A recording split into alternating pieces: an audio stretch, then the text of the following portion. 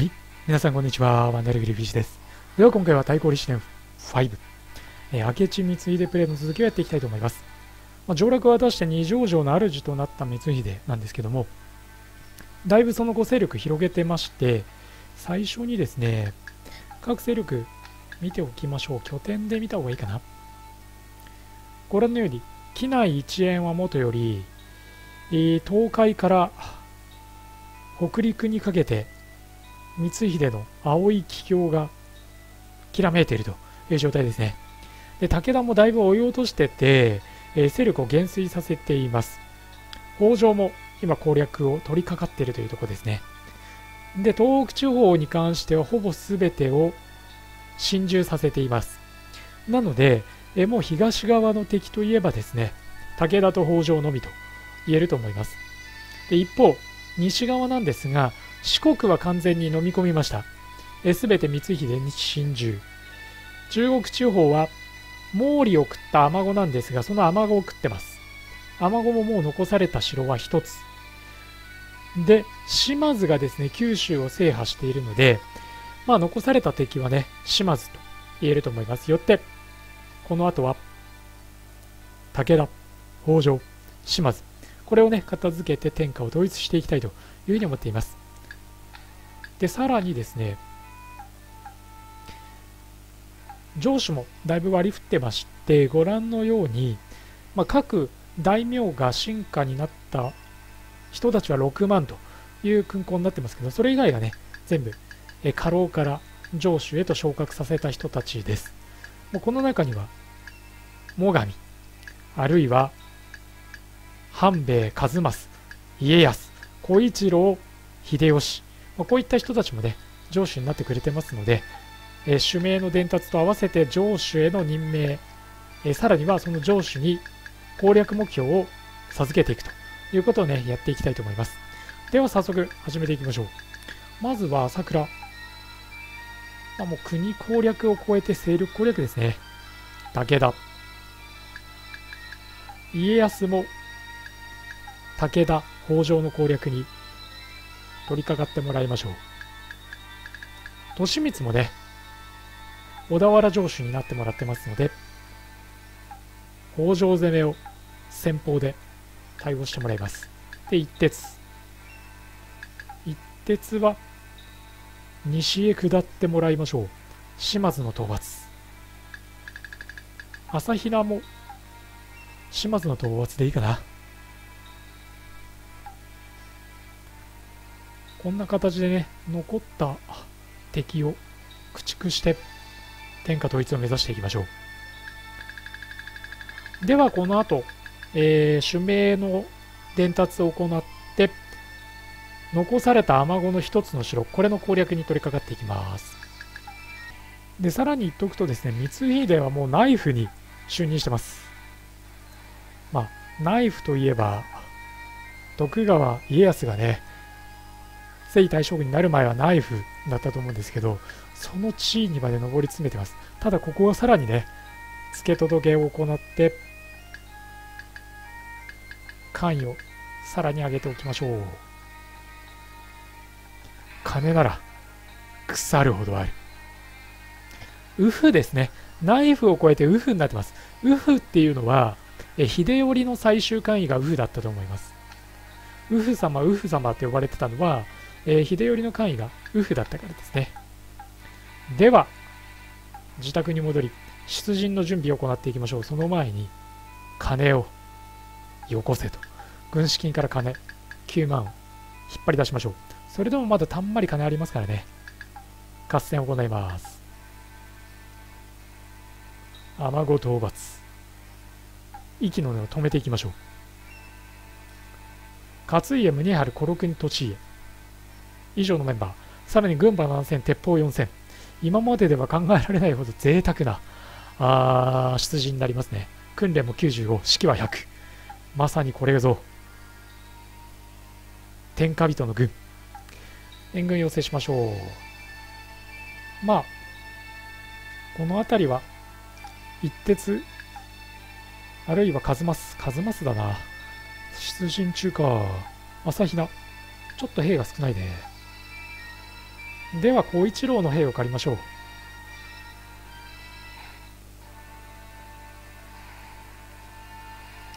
まさに官軍と。そういう勢いですね。では天子攻略戦を行っていきます。では吉川元春が降伏にやってきましたので降伏を受け入れましょう。これで天子という家がなくなりましたね。このまま島津の討伐戦をね始めていきたいと思います。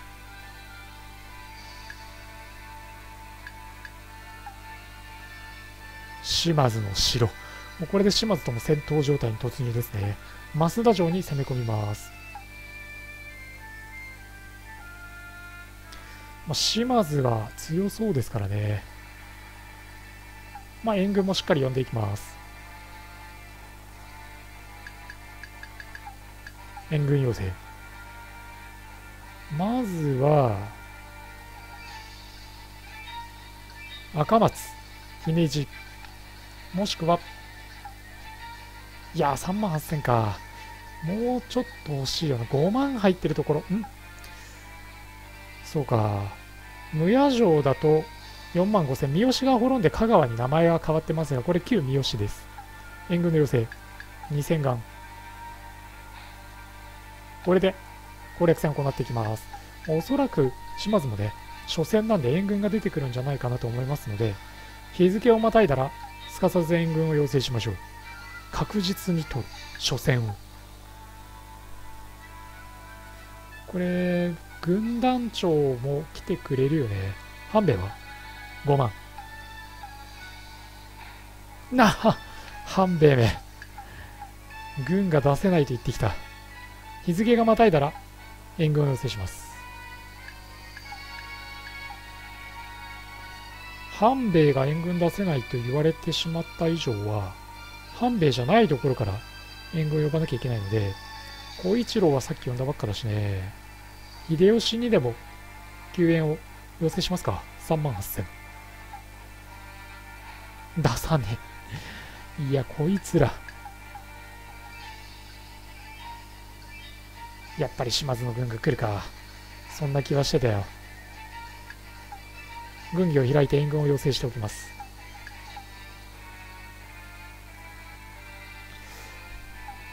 まあ、ここは、都議木の里、2万3000いるなら2000貫で買おう。その兵、出せない。金だけ減っていくのやめてほしいよね。しょうがない。では、手持ちの戦力で戦いましょう。落ちないもんね。島津義久、出陣。これを迎撃していきます。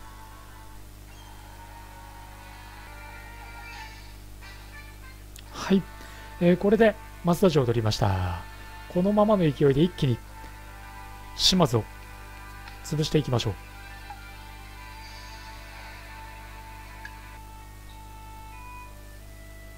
はい、博多や九州の商人ですね。御用商人になりたいと言ってきているので、取り入れましょう。九州も。商人はすでに島津を磨きったと見えますね。では、ここからですね、攻略戦を進めていきたいですが、北条が川越城の奪還に来てるな。これらの防衛戦はじめ、少し進めていきます。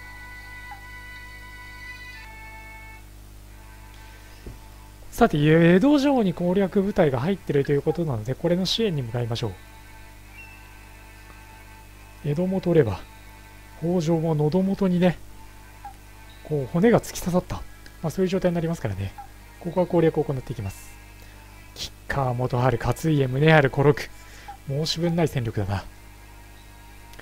では、江戸城攻略戦始めていきます。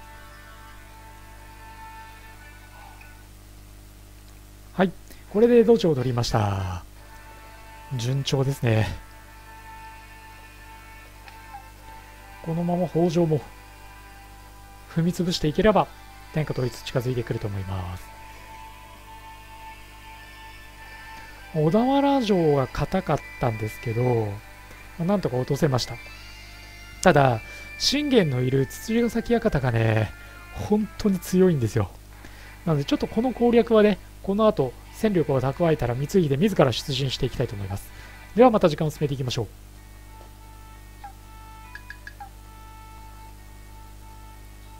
小西行長が使者として参っている。うん。小西行長が御用商人。まあ、小西行長は確かに商人の出ですからね。御用商人になりたい。1万貫を献上するか。よし、もらいましょう。誰を切るかだな。茶屋、納屋、博多屋、小西屋。まあ、ここは納屋だな。一度切ろう。これからは九州ですからね。では、合戦出ましょう。ツツジが先館で、信玄の本拠地を狙う。ここが本当に硬いんですよね。うわ、すでに戦闘中か。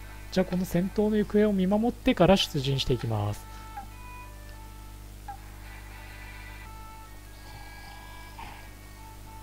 はい。そしたら、富田景政が土ヶ崎館の攻略に失敗したので、自ら出陣して、土ヶ崎館を落としましょう。実は土ヶ崎館は、そうだな、かれこれ7、8回出陣してるんですが、未だに落とせていない。停戦約定、そんなものは無視だ。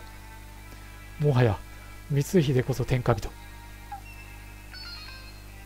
周辺勢力との関係悪化など、意に介さない。まあ、そんな感じですね。ここはじゃあ誰を援軍として出してもらうかだな。それなりの戦力をそれなりに出してくれる人がいいからな。カズマス、頼むぞ。出せね。これあるからね。こやつらは。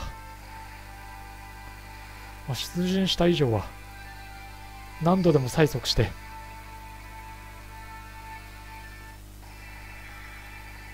必ず援軍を出させる。軍団命令、援軍要請。まずは近場の人間だな。利光。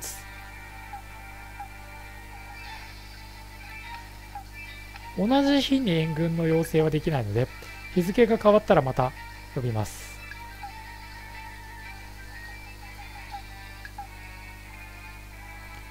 じゃんじゃか呼ぶぞ。まあ、近い人がいいからね、とは言っても。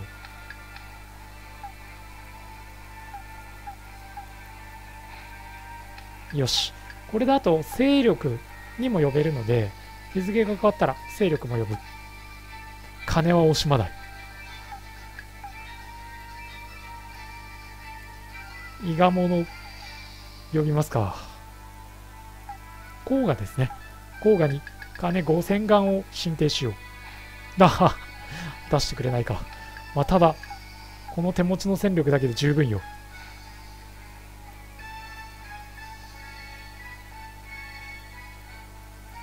ぱちょっと不安だね。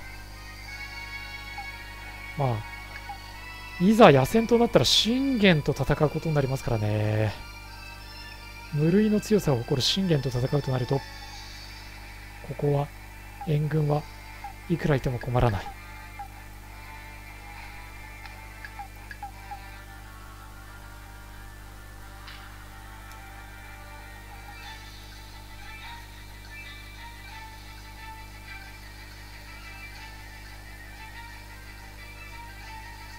れにさらに香川の軍勢が加われば落とせそうだな。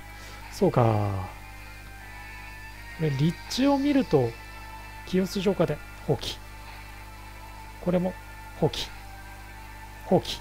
放棄したものは、一部は開始。一部は鎮圧し、まあ、そんな感じですね。斎藤利光が撤退か。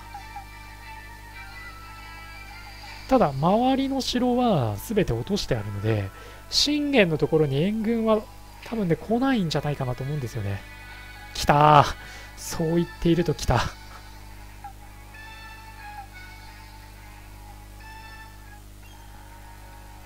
数では勝ってはいるな。ここは数を頼りに勝ちに行きましょう。はい。これで本丸陥落。辻ヶ崎館、言えてないですね。辻ヶ崎館を落としました。大戦果だな。これで信玄を追い落としました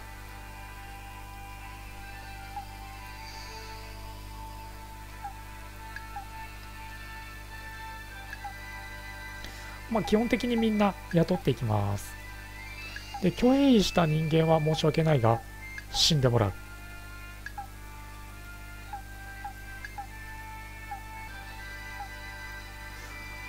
長官ですね。長官はね、よく使えてくれましたからね、登用しましょう。頼む。来てくれ。よし。長官がね、もともとは武田家にいるときに、与力として、すごくよく働いてくれた。特にお金がない時の軍資金獲得にね、その長官も武田から離反、光秀につくということになりましたね。では、このまま攻略戦続けていきます。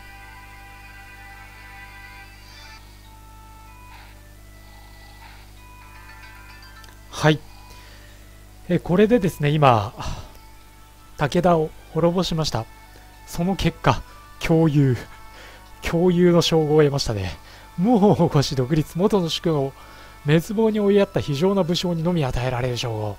まあ、共有っていうと、まあ、一番最初にやっぱり頭に浮かんでくるのは、松永久秀であり、毛利元就でありっていうところなんですが、ここに光秀も加わりましたね。共有。これで確認をしておきましょう。勢力3万4000まで来たね。3万6000になれば太政大臣にあるいは征夷大将軍にそして関白になれるので、え天下統一できるんでもうちょっとね試合力高めていきましょう。共有光秀。で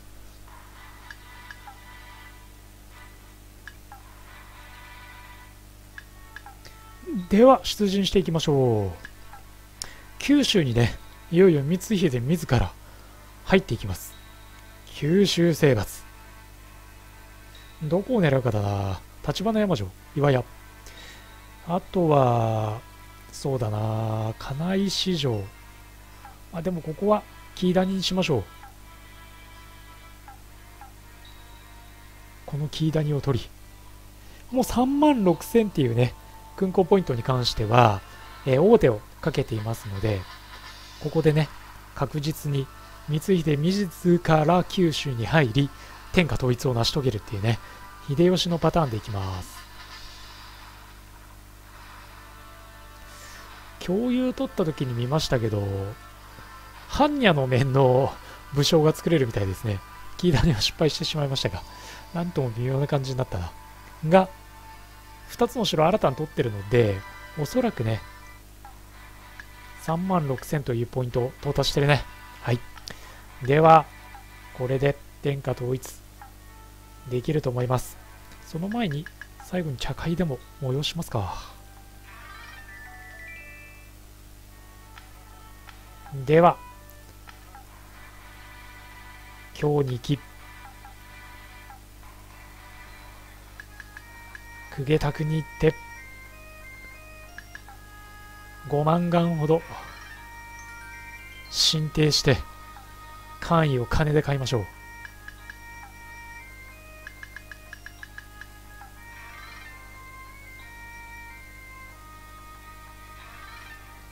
左大臣これで左大臣かまだあれですねもう一個必要ですねまあ、金を貢げばいいだけの話なので、金を取りに帰りましょう。城に。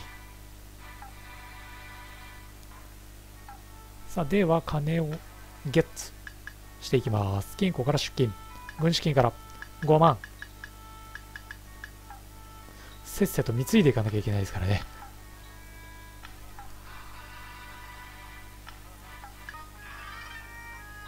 はい。天皇からお言葉を頂戴します。そなたの中金陳は感じた。征夷大将軍に任ずる長かったですね。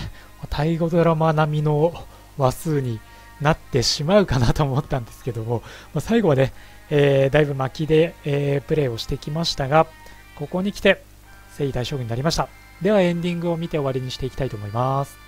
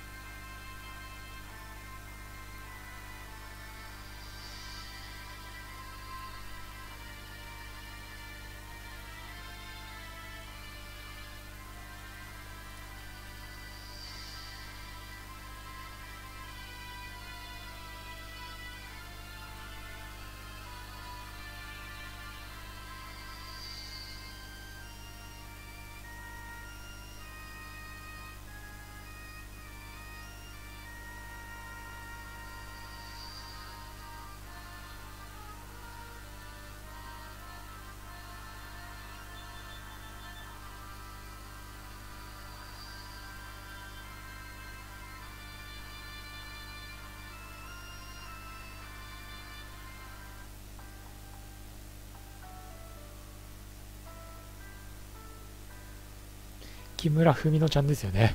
大河ドラマ麒麟が来るでは。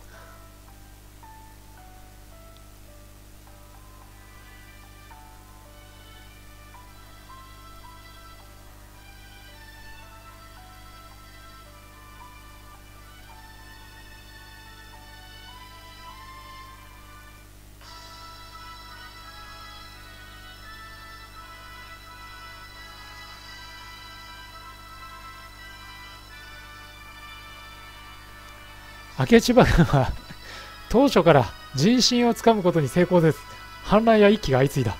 初代将軍の光秀に悪評が高かったことも原因の一つであろう。やがて崩壊へ向かうのは明らかであった。なるほど。さらにやがて異国から押し寄せる戦乱に対処できる力を持ち得なかったのである。圧倒的な火器を誇るイスパニア、ポルトガル新たに東アジアに求めて来航したオランダ、エゲレスの東インド会社。完全にこれはバッドエンディングに進んじゃいましたね。